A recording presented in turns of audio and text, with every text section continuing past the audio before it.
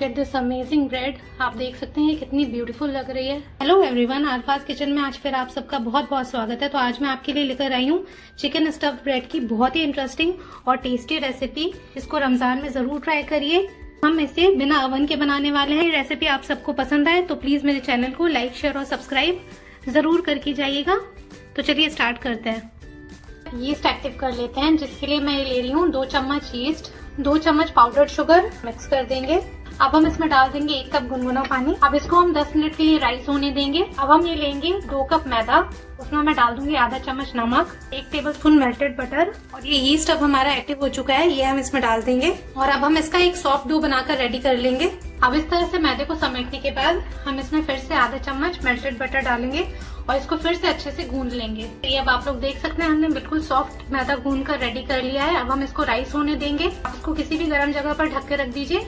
ये मैदा फूल कर राइस हो जाएगा, तब हम इसको यूज़ करेंगे। तो अब हम अपने चिकन की फिलिंग रेडी कर लेते हैं, जिसके लिए मैंने ले लिया है ये पैन में। दो टेबल स्पून ऑयल एक प्याज चॉप करी हुई, तीन हरी मिर्चें चॉप करी हुई, उनको हम सौते कर लेंगे। कलर चेंज होने तक गैस की फ्लेम को लो करने के बाद अब हम इसमें डाल देंगे। ये 250 ग्राम चिकन का मैंने कीमा लिया है वो। आधा चम्मच नमक, आधा चम्मच लाल मिर्च पाउडर, आधा चम्मच गरम मसाला पाउडर, थोड़ी सी रेड चिली फ्लेक्स, थोड़ा सा मिक्स हर्ब, एक शिमला मिर्च चॉप करी हुई, आधा चम्मच अदरक लहसन पेस्ट। अब ढक के लगभग स्लो फ्लेम पर हम इसको दस मिनट तक पका लेंगे। अब देखिए, चिकन ने खुद इतना पानी छोड़ दिया है इसी पानी में चिकन गलकर हमारा रेडी हो जाएगा। पानी को हम अच्छे से सुखा लेंगे। लास्ट में हम इसमें डाल देंगे एक चम्मच केचप और ये आधा कप हरा धनिया। इन सबको अच्छे से मिक्स कर देंगे। स्टफिंग हमारी बिल्कुल रेडी हो चुकी है। अब हम इसको साइड रख देंगे। तो अब हम प्री हीट कर लेते हैं अपने भगोने को। या आप कढ़ाई भी ले सकते हैं। अब उसमें मैं ये डाल दूँगी एक कप के लगभग नमक। चारों तरफ़ नमक को अच्छे से फैला देंगे। और अब हम इसके ऊपर रख देंगे ये स्टैंड और इसको ढककर अब हम तेज आँच पर प्री हीट कर लेंगे। मतलब इसको तेज गर्म कर लेंगे। तो अभी आप लोग देख सकते हैं, मैदा हमारा बहुत अच्छे से राइज हो चुका है। हम इसके पेड़े तोड़ लेते हैं। तो अब हम अपने पेड़े को बेल लेंगे, जिसके लिए मैं ले रही हूँ मकई का आटा। मकई का आटा इसलिए लेते हैं ताकि इससे इसका क्रस्ट और टेस्ट अच्छा आता है तो हमें इनको बेलना है इस तरह से लंबाई में। गोल हमें इनको नहीं बेलना। तो अब हम इस पे रखेंगे ये चिकन की स्टफिंग आप लोग देख लीजिए कि चिकन की स्टफिंग मैं किस तरह से रख रही हूँ। हमें इसी तरह से रखनी है।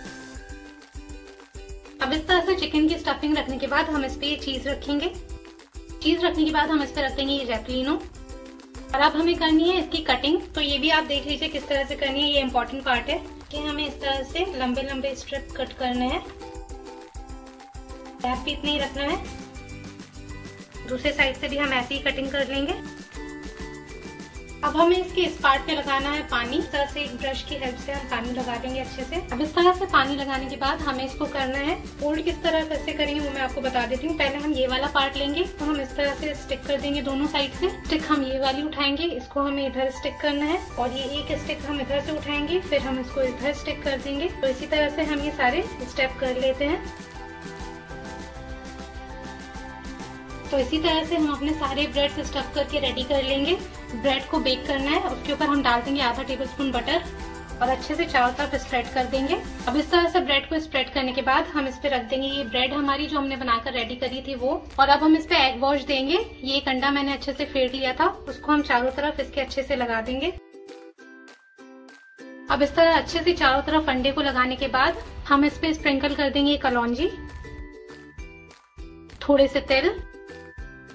तो अब ये बेक करने के लिए बिल्कुल रेडी हो चुके हैं। और अब ये भगवाना भी हमारा अच्छे से प्री हीट हो चुका है। और अब हम इसमें ध्यान से रख देंगे ये हमारी चिकन ब्रेड और अब हम चूल्हे को कर देंगे मीडियम फ्लेम पर और इसको ढक के हमें लगभग 30 मिनट तक बेक करना है। अब 200 डिग्री पर प्री हीट अवन करने के बाद इसको हमें उसमें बेक करना है 20 मिनट के लिए। तो हम इसको बेक कर लेते हैं। तो अब हम अपने भगवाने वाली ब्रेड को देख लेते हैं। तो अभी आप लोग देख सकते हैं, हमारी भगवाने वाली ब्रेड भी रेडी हो चुकी है। तो यह भवन वाली ब्रेड भी हमारी बेक होके अच्छे से रेडी हो चुकी है। आप देख सकते हैं, इसका कलर कितना अच्छा है। अब हम इनको सर्व कर लेते हैं। Look at this amazing bread आप देख सकते हैं कितनी ब्यूटीफुल लग रही है। खाने में भी उतनी ही डिलीशियस और टेस्टी है। अब मैं आपको इसको कट करके दिखाती हूँ। तो आप इसको ज़रूर एंजॉय करिएगा। हमने इसको बनाया है भगोने के अंदर। या आप घर में बिना ओवन के बना सकते हैं। आप इसको इंजॉय कर सकते हैं केचप के साथ। तो देखिए, ये रेडी हो चुकी है हमारी चिकन ब्रेड और बनाने में बहुत ही आसान है, आप लोग ने देख लिया है तो इसको ज़रूर ट्राई करिए। और अगर मेरी रेसिपी आप सबको पसंद आए तो प्लीज़ मेरे चैनल को लाइक शेयर और सब्सक्राइब ज़रूर करके जाइएगा।